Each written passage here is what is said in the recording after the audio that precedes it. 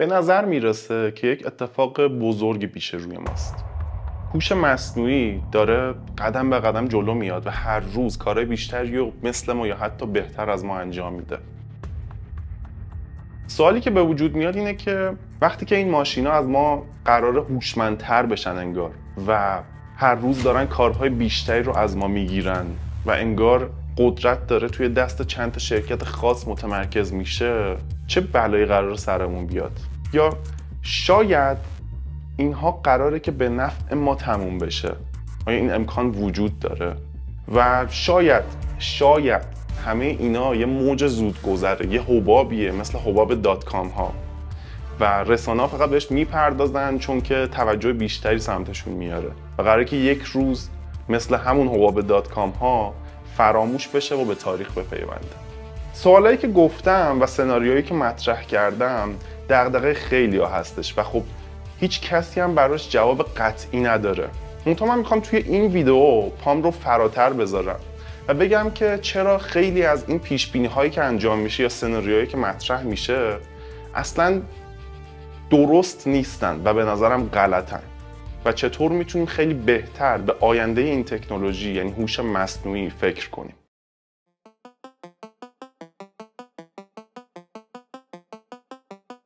این روزا می‌تونم بگم تقریبا به هر کسی که می‌رسم یه سری سوال ازش در مورد هوش مصنوعی می‌پرسم. اینکه وقتی اخبار پیشرفت این تکنولوژی رو میشنون چه حسی بهشون دست میده و اینکه بیشتر چه سوالی توی ذهنشون وجود داره چه مسئله ذهنشون رو درگیر کرده. طبق تجربهم که خیلی هم زیاد نیست می‌تونم بگم که آدما انگار هنوز تصمیم نگرفتن که خوشبین باشن یا بدبین باشن نسبت به این تکنولوژی. البته به صورت میانگین اگه بخوایم بگیم یه بایاسی نسبت به بدبین بودن دارن. ولی خب هنوز بیشتر آدما براشون مبهمه که چه اتفاقی قرار بیفته.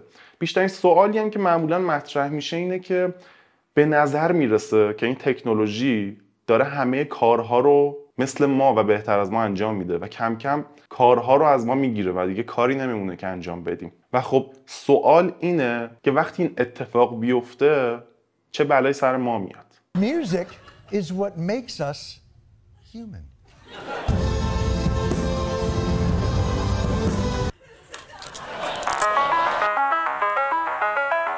وقتی از کار و تکنولوژی صحبت می‌کنیم معمولا یه بحثی اون وسط خیلی تکرار میشه. اونم تصاحب کارها توسط تکنولوژی. و البته بحث امروز هم نیستش. توی تاریخ تکنولوژی اگه نگاه کنیم همیشه توی مواجهه با یه تکنولوژی جدید این سوال وجود داشته که وقتی همه چیز داره خودکار میشه وقتی ماشین ها دارن جای ما یه سری کارها رو انجام میدن چه اتفاقی قراره که بیفته. و در مورد هوش مصنوعی هم این مسئله خیلی جدیتر داره مطرح میشه. مسئله رو اگه بخوام خیلی ساده و خلاصه بگم اینه که ما یه کار ثابتی داریم. یعنی یک مقدار کار ثابتی تو دنیا وجود داره. وقتی تکنولوژی یک بخشی از این رو انجام بده در واقع به این معنیه که ما داریم انجام نمیدیم. تکنولوژی هم که توی این مورد خاص هوش مصنوعیه کارهای بیشتری رو انجام میده و ما کارهای بیشتری رو از دست میدیم. و چون رشدش تصاعدیه کم کم یه جایی می‌رسه که می‌بینیم که دیگه هیچ کاری برامون باقی نمونده. اینجا ما یه پیشفرزی داشتیم که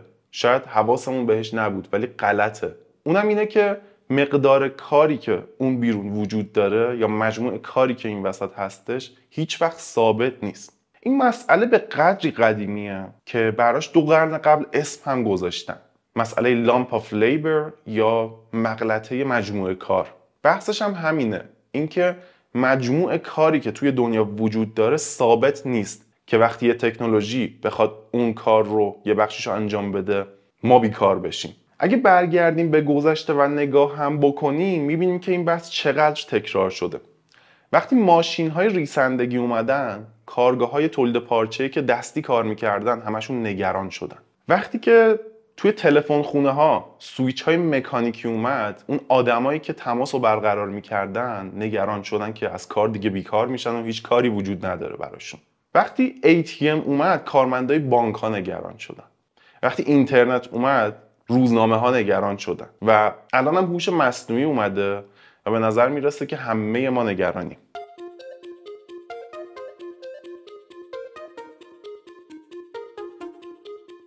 من یه تصوری دارم و اونم اینه که انگار توی هر کدوم از این موجهای تکنولوژی یه دیواره نامرئی وجود داره که وقتی ما از این دیواره نامرئی عبور کنیم یا از اون نقطه بگذریم در ازای شغلهایی که از بین میرن صنعتهایی که دگرگون میشن و چیزهایی که تغییر می‌کنه کلی فرصت جدید به وجود میاد که در مجموع نفع اون رو برای ما آدما مثبت می‌کنه. یه مثال رو بیایید با هم دیگه مرور کنیم. مثلا در مورد تلفن خونه ها صحبت کردم. احتمالا توی فیلم ها دیدید که تلفن خونه هایی وجود داشتن تو قدیم و آدم هایی توی اتاقک هایی بودن که تماس های ورودی رو وصل می‌کردن به تماس های خروجی.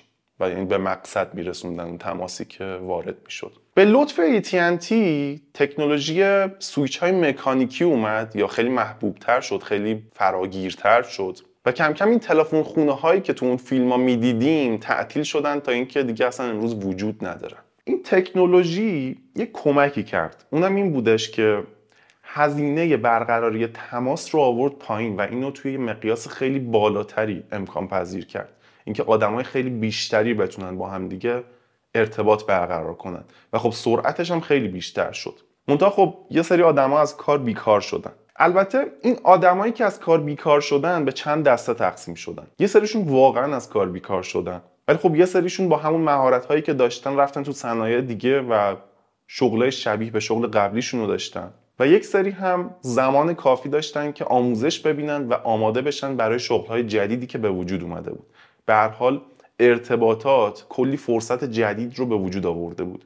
سرعت رشد صنایع خیلی بیشتر کرده بود و شغلای بیشتری هم ایجاد شده بود. یا بیایید در مورد اینترنت یه مثال رو با هم دیگه بررسی کنیم. به هر حال به ما نزدیکتره و بهتر می‌تونیم لمسش کنیم. وقتی که اینترنت اومد بساط دانلود غیرقانونی فایل های موسیقی هم خیلی گرم شد. از یه طرف وبسایت هایی مثل نپستر و پایرت بی بودن که این فایل ها رو رایگان میذاشتن و خب تبلیغ هم رو وبسایتشون بود و کلی سود به دست می آوردن ولی خب اون فایل رایگان بود و اون آدمی که اون موسیقی تولید کرده بود دیگه پولی به دست نمی آورد در واقع اون استودیوهای ضبط و پخش موسیقی رفتن به سمت ضررده شدن چون دیگه یه پولی بودش که وارد حسابهاشون نمی‌شد. منتها یه اتفاق دیگه این وسط افتاد و اونم این بودش که وقتی آدمای بیشتری به این موسیقی دسترسی پیدا کردن تقاضا برای تور و کنسرت خیلی بیشتر شد. و رفته رفته درآمدی که هنرمندا بابت کنسرت هاشون تورهایی که برگزار می‌کردن به دست می آوردن خیلی بیشتر شد از اون چیزی که داشتن از دست می‌دادن. یعنی به صورت کلی سودی که به صنعت موسیقی رسید مثبت بود. نفعش بیشتر از ضررش بود. همین امروز هم که ما داریم با همدیگه صحبت می‌کنیم بساط دانلود غیر قانونی جمع نشده جایی نرفته. ولی صنعت موسیقی هم از بین نرفته و خیلی پویاتر از گذشته داره ادامه میده. حالا بیایم یه خورده نزدیکتر و یه مثالی که به تازگی اتفاق افتاده یا خیلی نزدیکتر هست به ما رو بررسی کنیم. داستان یک آدمی به اسم آریل. آریل یه جوان 24 ساله بودش که برای برندها ویدئوهای اختصاصی می ساخت. یه روز از خواب بیدار شد و با یه پیام جالبی مواجه شد که از سمت یه آژانس digital marketing فرانسوی براش اومده بود. اونا بهش یه سری متن و سناریو داده بودن و ازش می‌خواستن که توی موقعیت مختلف اونا رو ضبط کنه. چند وقت بعد آریل با این صحنه مواجه شد. out of the house for hours, you're comfortable walking around with all that stanky body odor that's been building up on you all day? What's even crazier is that some of you are applying deodorant on top of that odor, which is honestly probably making it worse. Let me tell you what I do. It's a little hygiene. شاید به نظر نیاد ولی این ویدیو خود آریل نبود بلکه یه متن از پیش نوشته شده بود که به کمک هوش مصنوعی داشت طوری اجرا می‌شد که انگار واقعا خود آریل اونو گفته. آریل شوکه شده بود. حالا یه نسخه از خودش روی وب بود که هر مشتری می‌تونست هر متنی رو بهش بده تا بخونه. نکته جالب این بودش که حتی دوستای آریل هم نمی‌تونستن تشخیص بدن که این خودشه یا نه. آریل نگران بود که دیگه کی بهش سفارش ویدیو میده. اما بعد از یه مدتی سفارشش چند برابر شد. آدما انگار نسخه واقعی آریل رو بیشتر ترجیح می‌دادن. و حالا که با آریل مصنوعی آشنا شده بودن می‌خواستن ببینن که خود آریل چطور می‌تونه این کارها رو انجام بده. و ترجیح می‌دادن که پول بیشتری بدن تا آریل واقعی براشون کارها رو انجام بده و ویدئو بسازه. البته داستان آریل یه مثاله و من نمی‌خوام ازش حکم کلی صادر کنم. در حد همون مثال هم بهش نگاه کنیم. تلاش من اینه که کاری کنم که بتونیم اون سمت دیوار نامرئی که گفتم رو برای هوش مصنوعی ببینیم و ببینیم که چه فرصت هایی احتمالا قراره که برای ما به وجود بیاد. منتها بیاید قبلش با هم دیگه رو راست باشیم. واقعا شغل های خیلی زیادی قراره که برای همیشه از بین بره و یک سری آدم هم از کار بیکار میشن. منتها کلی شغل جدید هم به وجود میاد. و البته کارهایی که ما امروز داریم انجام میدیم قرار نیستش که همین شکلی بمونن. به طور کلی ماهیت کار به طور جدی قراره که تغییر کنه. برای اینکه یه خورده راحتتر بتونیم بحث رو پیش ببریم یه کشاورزی رو تصور کنید که توی 200 سال پیش داره زندگی می‌کنه. و خب چه ابزارهایی دم دستشه برای اینکه کارهاشو انجام بده؟ زمینش رو شخم بزنه و کارهای دیگر رو ببره جلو. یا باید خودش زمین رو شخم بزنه؟ خیلی سختی داره واسش. یا گاو و اسب و اینا داره براش بتونن این کار رو انجام بدن اگه پولدارتر بشه و وقتی که ماشین های صنعتی وارد این تصویر میشن کارش خیلی راحت تر میشه خیلی سریعتر می‌تونه زمینش رو شخ بزنه. زمین بیشتری رو می‌تونه ببره زیر کشت و در واقع رفاه بیشتری هم برای این آدم ایجاد میشه یا ثروت بیشتری می‌تونه تولید کنه. یه سری آدم هم اونجا هستن که کاراشون رو از دست میدن. طبیعیه. ولی همزمان یه سری صنایع جدید ایجاد شده برای ساختن و نگهداری همین ماشین های صنعتی. و اون آدمایی که دیگه نمی‌تونن توی اون روستا زندگی کنن کار کشاورزی ادامه بدن می‌تونن برن توی شهرها و کارهای جدیدی انجام بدن. من فکر می‌کنم که امروزم خیلی شرایط متفاوت نیست و دقیقا یه همچین اتفاقاتی قراره که بیفته. حالا که یه خورده تصویر بهتری داریم بیایید ببینیم که میشه حدس زد که این فرصت هایی که ایجاد میشه از چه جنس هستن چه شکلی هستن؟ تصور این که هوش مصنوعی توی ماها و سالهای آینده چقدر پیشرفت می‌کنه چه کارهایی رو می‌تونه انجام بده خیلی سخته. مثلا یه کتابی رو چند وقت پیش من می‌دیدم توی توییتر در موردش بحث شده بود. و توی این کتاب که خیلی هم قدیمی نیست برای سال 2021 که تقریبا سه سال پیش نوشته شده. در مورد این صحبت شده بودش که ما تا الان هوش مصنوعی رو تونستیم چقدر بیاریم جلو چه کارهایی رو می‌تونه انجام بده. و چه کارهایی هستش که خیلی باش فاصله داریم که انجام بده. تو این توانایی که نوشته بودش که خیلی باش فاصله داریم چیزایی مثل داستان سرایی و فهمیدن یه مسئله پیچیده بود که خب امروز ما می‌دونیم که هوش مصنوعی یا مدلایی که در دسترسمون هستن خیلی راحت می‌تونن اونا رو انجام بدن. پیش بینی های هم وجود داره که میگه تا سال 2029 شاید یه خورده زودتر شاید یه خورده دیرتر ما با هوش مصنوعی طرف هستیم که توانایی هاش به طور عمومی در سطح انسان خواهد بود. الان هوش مصنوعی که ما داریم بعضی جاها خوبه بعضی جاها خیلی پایین تره ولی انگار تا اون سال قراره که نسخه ای رو داشته باشیم که توی همه توانایی ها می‌تونه مثل ما عمل کنه.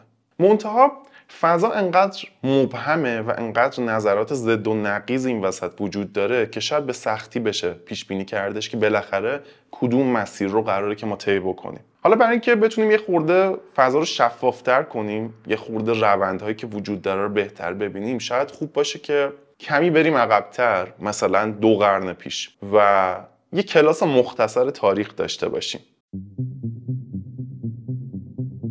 بریم به قرن 18 هم. جایی که یه آدمی به اسم ژان بپتیس گریبووال توی بهبوهه انقلاب فرانسه و جنگ های ناپلئونی یک ایده انقلابی به ذهنش می‌رسه ایده گریبووال که من اینجا خیلی دارم تلاش می‌کنم تلفظش رو درست انجام بدم این بودش که اگر ما بتونیم تفنگ ها رو طوری بسازیم که قطعات هر تفنگ برای تفنگ های دیگه هم به کار بیاد هزینه ساخت و نگهداری تفنگ ها و اسلحه ها خیلی پایین میاد. اینجا ممکنه که براتون یه چیزی عجیب باشه.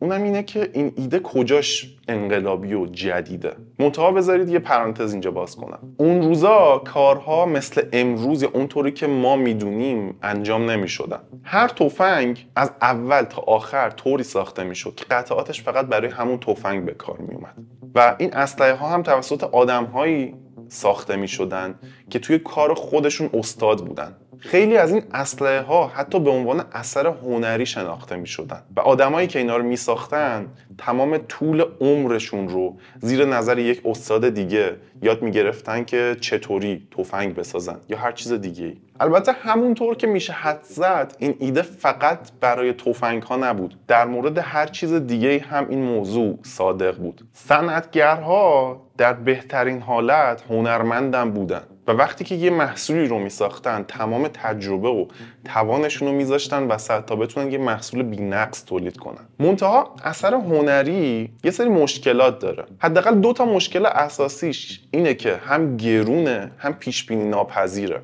فرش و ظرف و لباس و چیزای خوب خیلی گرون بودن تو گذشته و هر کسی نمی‌تونست از پس هزینه‌هاش بر بیاد. یک مشکل دیگهشون هم این بودش که پیش بینی ناپذیر بودن. کافی بودش که اون آدمی که داره اون روز اینو می‌سازه حال خوبی نداشته باشه. یا نخواد به هر دلیلی تمام توانش رو بذاره. اون وقت محصول نهایی هم چنگی به دل نمی‌زد. گریبووال توی همچین شرایطی بودش که این ایده رو مطرح کرد. و خب ایدهش هم واقعا مؤثر واقع شد. هزینه ساخت اسلحه برای ارتش فرانسه خیلی پایین اومد. به قدری که گفته میشه توماس جفرسون ازش خواستش که روش ساخت اسلحه رو توی آمریکا هم بیاره. حالا همینجا داستان رو متوقف کنیم و تاریخ رو حدود 100 سال یه خورده بیشتر از 100 سال بزنیم جلو. جایی که قهرمان بعدی داستانمون وارد تصویر میشه.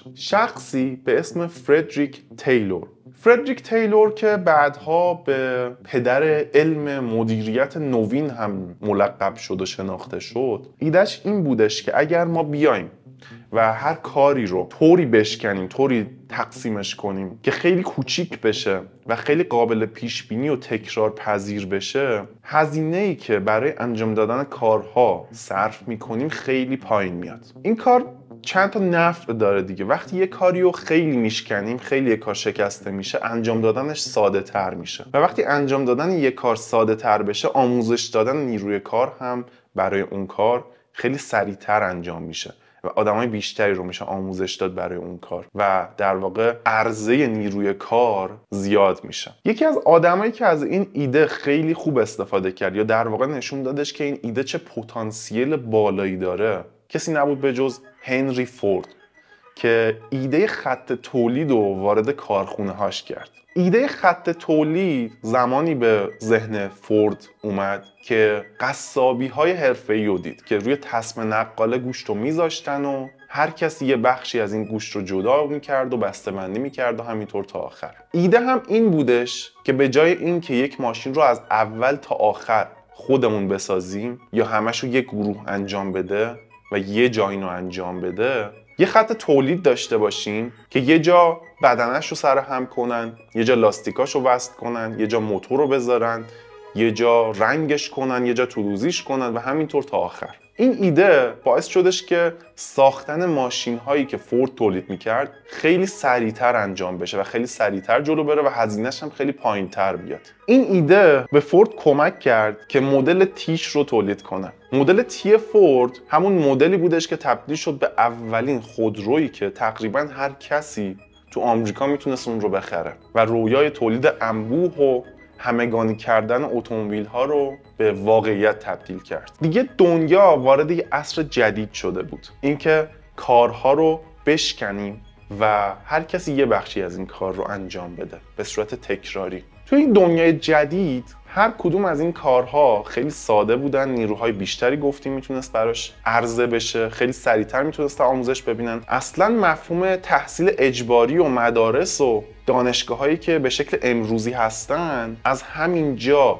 شکل گرفت. از همین ایده که میشه نیروی کار رو به صورت انبوه تولید کرد. وقتی هم که نیروی کار به شکل انبوه تولید شد قیمتش اومد پایین تر و قابل جایگزینی تر شد. این پایین اومدن قیمت هم همینطور ادامه پیدا کرد. اول کارهای تکراری و پیش بینی پذیر رو به اون سمت مرزها فرستادن و بعد هم اون کارها رو به ربات ها دادن. اساسا عصر صنعتی مهمترین محصولش همین بود استاندارد سازی و تخصصی کردن کارها. منتها این روند تخصصی شدن و شکسته شدن کارها یه جنبه دیگه هم داشت. و اونم این بودش این آدمایی که داشتن این کارها رو انجام می‌دادن نمی‌تونستن اینو درک کنن که کاری که دارن در لحظه انجام میدن توی اون محصول نهایی که می‌رسه به مشتری چه تأثیری می‌ذاره. اون آدمی که داشت پیچ و مهره رو تولید می‌کرد دیگه نمی‌تونست تصور کنه که اون خودرویی که با این پیچ و مهره ها تولید میشن چه شکلی می‌خواد باشه؟ یعنی پیچ و مهره چه شکلی می‌خواد توی تجربه استفاده اون آدما از خودرو تاثیر بذاره؟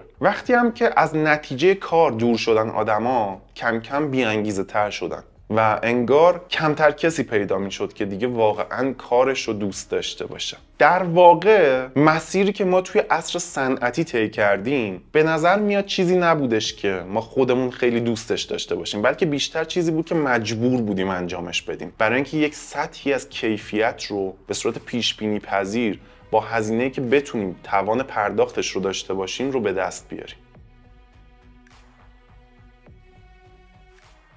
حالا که تاریخ و یه بررسی مختصر کردیم بریم سراغ مسئله اصلی خودمون اینکه چه بلایی قرار سر ما بیاد و کارمون چه تغییری قرار بکنه. اجازه بدید من چند تا اصطلاح و چند تا پیش بینی از کتاب لینچپین یا مهره کلیدی ستگادین قرض بگیرم اینجا و اینا رو اینجا مطرح کنم. توی کتاب لینچپین ستگادین میاد یک مسئله رو مطرح می‌کنه و اونم اینه که اگر شرح شغلی شما یه بخش زیادیش می‌تونه خودکارسازی بشه به صورت خودکار انجام بشه یا automate بشه. شما باید واقعا نگران باشید. این اون بخشی از کار شما که می‌تونه به صورت خودکار انجام بشه و automate بشه اون جاییه که باید شما رو نگران کنه. حالا اگه من بخوام این رو به صورت امروزی بگم یا امروز دوباره بازنویسی کنم این بخش رو میگم که اون بخشی از کار شما که قراره توسط ChatGPT انجام بشه یا می‌تونه توسط ChatGPT همین الان انجام بشه با یک کیفیت قابل قبولی باید شما رو واقعا نگران کنه. و خب اینم برمیگرده به همون تاریخچه. یعنی در واقع از اول هم هدف از شکسته شدن کارها تخصصی کردنشون این بودش که هزینهشون بیاد پایینتر و قابل پیش بینی بشن. و خب کاری که تخصصی شده شکسته شده خیلی خوب و قابل پیش بینیه بهترین کاریه که هوش مصنوعی هم می‌تونه به راحتی انجامش بده. ست گادین خیلی قبلتر از موج فعلی هوش مصنوعی توی این کتاب یه پیش دیگه هم داره و اونم اینه که هنر قراره که دوباره توی ابعاد گسترده به کار و زندگی ما برگرده. چیزی که منم خیلی بهش خوشبینم. به نظر من با هوش مصنوعی ما به ابزارهایی دسترسی داریم که قبل از این فقط آدمای خیلی کمی بهش دسترسی داشتن و در واقع می‌تونیم اون کارهای تخصصی و شکسته شده رو بهش بسپریم و توی سطح بالاتری به مسئله ها فکر کنیم و کارها رو انجام بدیم. بیاید یه چند تا مثال رو با همدیگه بررسی کنیم. فرض کنید که شما می‌خواید داستان بنویسید. با هوش مصنوعی شما یکی رو دارید که می‌تونه براتون تحقیقات انجام بده. یکی رو دارید که می‌تونه کلی براتون ایده پردازی کنه. یکی رو دارید که می‌تونه براتون به هر زبانی که دلتون بخواد کتابتون رو یا داستانتون رو ترجمه کنه. یکی رو دارید که ویرایش کنه کتابتون رو. و همینطور تا آخر. یا فرض کنید یه استارتاپ می‌خواید را بندازید. شما یه مشاور حقوقی دارید یه مشاور مالی دارید. یکی دارید که می‌تونه براتون کد بزنه. یکی دارید که می‌تونه براتون محتوا تولید کنه. یکی رو دارید که می‌تونه براتون برنامه ریزی کنه. و همه اینا رو توی سطح قابل قبولی تقریبا می‌تونه انجام بده. یا حداقل به زودی می‌تونه انجام بده. یا توی همین مورد ویدئویی که من دارم درست می‌کنم. من می‌تونم با هوش مصنوعی تامنیل بسازم. می‌تونم ازش بخوام برام یه سری تحقیقات انجام بده. می‌تونه برام برنامه محتوایی درست کنه. می‌تونه به هم کلی ایده بده که چطوری می‌تونم کانالم رو بهتر کنم محتواهای مکملی تولید کنم. یا حتی می‌تونه به هم بگه که ویدئوامو چجوری ضبط کنم ایده های خلاقانه به هم بده. و خیلی چیزای دیگه ای که اگه کمی بهش فکر کنیم می‌بینیم که می‌تونیم برون سپاری کنیم دیگه خودمون قرار نیست انجامشون بدیم. قبل از این فقط سی لولا یا لایه مدیریتی شرکت ها بودن که می‌تونستن یه تیم و مدیریت کنن و بهشون جهت بدن و بگن چیکار کنن و کارها رو بشکنن و ولی الان این فرصت در اختیار خیلی ها قرار گرفته. تقریبا هممون می‌تونیم امروز با استفاده از ابزارهای هوش مصنوعی این کار رو انجام بدیم. یعنی کارها رو بشکنیم بسپریم به یه ابزارهای دیگه ای و خودمون توی لایه بالاتری فکر کنیم تصمیم بگیریم مسئله حل کنیم. و خب تا الان کارهایی که تونستیم به هوش مصنوعی بسپریم و خیلی خوب هم از پسش بر اومده کارهایی بوده که آدم ها خیلی زیاد انجامش دادن و ازش یک روتین ایجاد شده. مثل نوشتن مثل کد زدن مثل مسئله حل کردن مثل منطقی فکر کردن در مورد یک مسئله برنامه ریزی کردن.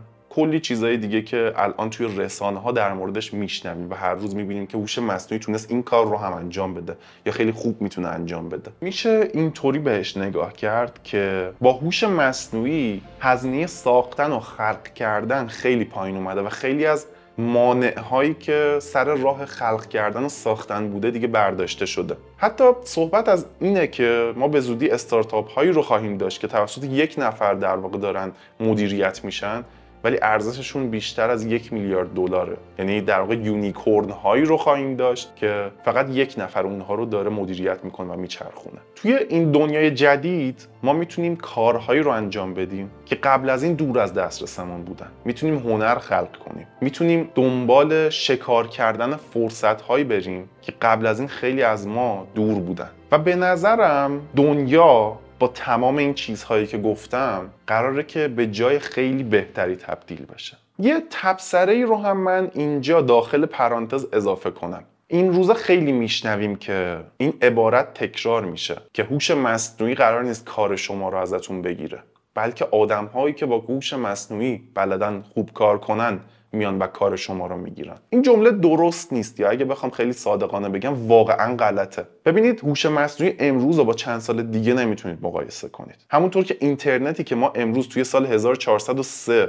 داریم رو نمی‌تونید با اینترنتی که توی دهه 80 1380 داشتیم مقایسه کنیم اون زمان اینترنتی که وجود داشت رو خیلی نه بهش دسترسی داشتن نمی‌دونستن چطوری باش کار کنن. ولی الان هر کسی می‌تونه با اینترنت کار کنه. گوشی ها همه گیر شدن. و تقریبا هر کسی می‌تونه نیازش رو برطرف کنه. هوش مصنوعی هم قراره که به همین سمت بره و همه می‌تونن خیلی راحت ازش استفاده کنن. یعنی دیگه بحث این نیستش که ما چطور باید یاد بگیریم که از هوش مصنوعی استفاده کنیم. و این مسئله واقعا چیزیه که اصلا نیازی نیستش که بهش پرداخته بشه. و مورد دومی که اصلا وجود داره اینه که ماهیت کار قرار عوض بشه. کسی کار ما رو قرار نیست ازمون بگیره. کاری که ما در آینده خواهیم داشت چیزی که اصلا شبیه امروز نیستش حداقل. اون تخصصی شدنه اون شکسته شدنه اینا همه قراره که یه جور دیگه ای بشه حداقل. یا قراره که اصلا از بین بره. چون که اون کارهای تخصص شده و پیش بینی پذیر رو ما دادیم به هوش مصنوعی. ما توی مقیاس جدیدی قراره که فکر کنیم مسئله حل کنیم و کارامون انجام بدیم.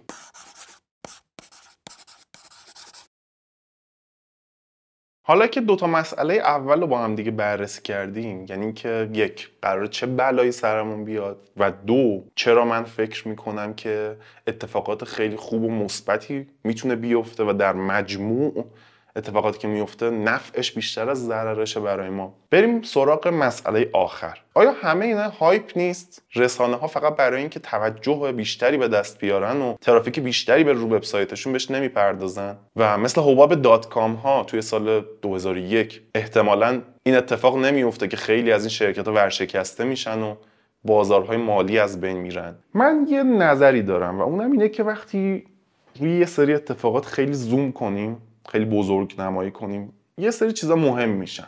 مثلا اینکه توی یک صنعتی توی یک تکنولوژی hype وجود داره حباب وجود داره. یه موجیه که زود گذر اومده که بره. و اینکه مثلا خیلی از شرکت ها بیش از حد ارزش گذاری میشن و به زودی ورشکست میشن و چیزای شبیه به این. ولی وقتی که zoom out کنیم می‌بینیم که اونقدر هم مهم نیستش. توی مورد اینترنت یا حباب dot-com ها یه بازه وجود داشتش که خیلی حباب به وجود اومده بود یا به عبارتی هایپ وجود داشت توی اون صنعت. یه جوی وجود داشتش که واقعی نبود یا خیلی فراتر از واقعیت بودش. منتها اون حباب ترکید و ما دیدیم که اینترنت به رشد خودش ادامه داد و روز به روز این صنعت پیشرفته خیلی بیشتری به دست آورد. تا جایی که امروز اگر اینترنت از زندگی ما حذف بشه ما نمی‌دونیم چه شکلی می‌تونیم بدون اون زنده بمونیم. یا چه اتفاقی قراره بیفته. این رشدی که میگیم اینترنت کرد و ادامه پیدا کرد بعد از همون حباب dot-com ها یه دلیل دیگه ای هم داشتش که خیلی بهش توجه نمیشه. توی همون دوران حباب dot-com ها خیلی از این شرکت های telecom پیش بینی می‌کردن که استفاده از اینترنت یا تقاضای اینترنت خیلی قراره رشد کنه. و متناسب با همون پیش بینیشون سرمایه گذاری های عجیب غریبی هم انجام دادن. بعد از حباب dot-com خیلی از این شرکت های telecom ضررهای زیادی کردن یا ورشکست شدن. منتها شرکت های مثل گوگل اومدن همون زیرساخت رو با قیمت خیلی پایینتر یا خریدن یا اجاره کردن و زیرساخت خودشون رو روی همونها بالا آوردن. البته ما امروز که داریم صحبت می‌کنیم این زیرساختی که امروز گوگل داره همون زیرساخت نیست و کلی در واقع upgrade شده کلی به روز رسانی شده. ولی تا سالها شرکت های مثل گوگل با محدودیت عجیبی روبرو نبودن برای توسعه زیرساختشون. دقیقا به خاطر همون زیرساختی که توی حباب dot-com ها ایجاد شد. این چیزیه که یه شخصی به اسم کارلوتا پرز یه مدل خیلی جالبی ازش ارائه داده. اولش همه چی با یه جرقه یا بهتره بگم مجموعه‌ای از جرقه ها شروع میشه. با سرمایه گذاری روی تکنولوژی مختلف کم کم بعضیش جواب میدن و یک موج جدیدی یک دفعه شکل می‌گیره. هر روز اخبار جدیدی میشنویم. هر روز قابلیت های جدیدی ازشون رونمایی میشه. سرمایه گذاری بیشتری روشون صورت می‌گیره. رشد خیلی خوبی می‌کنن. صنعت های جدیدی به وجود میاد و ما رو وارد مرحله دوم می‌کنه. کم کم با رشد خوبی که این تکنولوژی از خودشون نشون میدن هر کسی می‌خواد که یک سهمی داشته باشه. ابزارهای سرمایه گذاری جدیدی معرفی میشن شکل می‌گیرن و آدمای بیشتری می‌تونن روی این تکنولوژی سرمایه گذاری کنن. سرمایه گذاریایی میاد به این سمت که شکل گرفتن شرکت های جدید رو راحت تر می‌کنه. در واقع به لطف مدل های جدید تأمین سرمایه خیلی کارهای جدیدی میشه انجام داد و پول های عجیب و غریبی میچرخه توی این صنعت. اینجاست که کم کم یه حباب شکل می‌گیره چون که تمرکز روی مدل های تامین سرمایه و تکنولوژی سرمایه گذاری. خیلی از اون تکنولوژی هسته که همه اینا حول اون شکل گرفته بودن جدا میفته خیلی اهمیت اون سرمایه بیشتر میشه از اون تکنولوژی واقعی که داشت در واقع توسعه پیدا می‌کرد. این حبابی که توی صنعت مالی به وجود میاد کم کم بزرگ و بزرگتر میشه و آدما به خودشون میانه می‌بینن که یه هایپی یه جوی شکل گرفته. یه موجی اومده که انگار ربطی به واقعیت نداره و اون حباب میترکه. توی مرحله سوم که بعد از تمام اینها اتفاق میفته ما قانونگذاری ها رو داریم مرزگذاری ها رو برای صنعت های مختلفی که شکل گرفته داریم و در واقع یه بازبینی روی اون کارهایی که انجام شده بود صورت می‌گیره که ما رو میرسون به مرحله چهارم. یعنی به جایی می‌رسیم که توجه عجیب رسانه‌ای گذشته آدم ها انتظاراتشون کم کم به واقعیت نزدیکتر شده و صنعتی رو ما داریم که روی زیرساختی که قبل از این شکل گرفته میره که یه رشد معقول و مناسبی رو تجربه کنه. فقط این مدل رو با چرخه هایپ گارتنر اشتباه نگیرید. چیزی که کارلوتا پرز داره در موردش صحبت می‌کنه در مورد صنعت که شکل می‌گیره نه تکنولوژی های کوچیکی که تو هر کدوم از این صنعت ها هستش. فرقشون اینه. و خب هر کدوم از بخش این چرخه ای که کارلوتا پرز داره میگه ممکنه که چند دهه طول بکشه. خود هوش مصنوعی هم چندین دهه هستش که بحث در موردش وجود داره. و این موج رو چندین بار انگار تجربه کرده. سرمایه گذاری زیادی که این روزا داریم میشنویم روی هوش مصنوعی انجام میشه چند تا اتفاق خوب رو می‌تونه ایجاد کنه. یکیش اینه که آدمای خیلی زیادی به سمت این حوزه کشیده میشن. آدمایی که استعداد خیلی خوبی دارن و وقتی که سمت این حوزه میان باعث میشه که مسئله های بنیادینی که تو این حوزه وجود داشته دوباره بازبینی بشه. یا تلاش خیلی بیشتری براش بشه که حل بشه. یک اتفاق دیگه که وجود داره اینه که تقاضا برای زیرساخت خیلی زیاد میشه و از اون طرف سرمایه گذاری روی زیرساخت هم بیشتر میشه. مثلا الان ما تقریبا فقط انویدیا رو داریم که جی پی به شرکت ها می‌تونه بفروشه و شرکت ها تا چند سال توی صف هستن. به خاطر همین سازنده های جی پی یا در واقع پردازنده هایی که هوش مصنوعی بهشون نیاز داره بیشتر و بیشتر میشن. سرمایه گذاری روی این شرکت ها زیاد میشه عرضه این پردازنده ها خیلی زیاد میشه و قیمتشون میاد پایین. در واقع چیزی که می‌خوام بگم اینه که توی بلند مدت این زیرساختی که شکل گرفته می‌تونه استفاده بشه و رشد پایداری رو برای هوش مصنوعی ایجاد کنه. البته ممکنه که این وسط یک اتفاقی هم بیفته که انتظارات ما تعدیل بشه. که خب طبیعی هم هستش. طبق اون چیزی که گفتیم کارلوتا پرز ارائه داده. در آخر من می‌خوام این رو بگم که هوش مصنوعی قرار نیستش که رقیب ما باشه. در واقع مسئله های خیلی زیادی وجود داره که ما به تنهایی شاید هیچ وقت نتونیم حلشون کنیم. مثلا درمان سرطان زندگی توی سیاره های دیگه محدودیت منابعی که وجود داره یا حل مسئله های بنیادین علمی که ما امروز باشون روبرو هستیم و کلی مسئله دیگه. که ما می‌تونیم از هوش مصنوعی کمک بگیریم تا خیلی سریعتر اونا رو حل کنیم. می‌خوام ویدوم رو با یک استعاره از هانس موراوک که به تازگی توی کتاب زندگی سه خوندم تموم کنم. استعاره ای که خیلی خوب وضعیت امروز و آیندهمون رو داره ترسیم می‌کنه در واقع. کامپیوترها ماشین های همه کاره ای هستند که قابلیت هایشان به شکل یک نواخت در حوزه های بیشماری گسترش مییابد. از طرفی توانایی های انسان در زمینه هایی که از گذشته برای بقا مهم بوده است قوی و در حوزه های نامرتبط با آن ضعیف است. یک منظره از توانایی های بشر را تصور کنید که دره با برچسب های محاسبات و حفظ کردن دامنه هایی مانند اثبات قضیه و شطرنج و قله هایی با برچسب های قابلیت های حرکتی و هماهنگی چشم و دست و تعامل اجتماعی دارد همه ما در قله ها زندگی می کنیم اما دسترسی به باقی قله ها نیاز به تلاش بسیاری دارد و در هر قله مجزا افراد کمی هستند. پیشرفت عملکرد کامپیوتر مانند آبی است که به تدریج در این منظره بالا می آید. نیم قرن پیش این آب شروع به غرق کردن دره ها کرد و حسابگرهای انسانی و کارمندان ثبت اسناد را بیرون راند. اما بیشترمان در امان ماندیم. حالا سیل به کوه پایه ها رسیده و پایگاه های مرزیمان به فکر عقب نشینی افتادند ما بر فراز قله ها احساس امنیت داریم اما با روند فعلی قله ها هم در نیم قرن بعدی غرق خواهند شد.